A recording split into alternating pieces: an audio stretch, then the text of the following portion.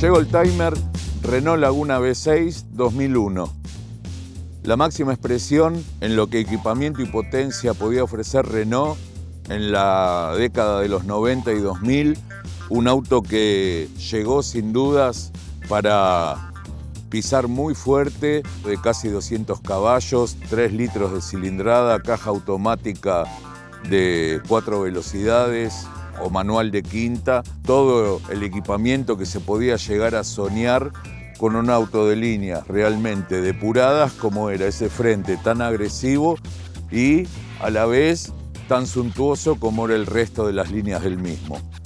Como dijimos, en este caso un V6 de 3 litros, 24 válvulas, segunda generación del motor desarrollado en conjunto con PSA y que la verdad hacía las delicias de todo el usuario, por más exigente que fuera, del segmento D. Renault Laguna V6 2001. Próximamente lo verás en nuestro canal.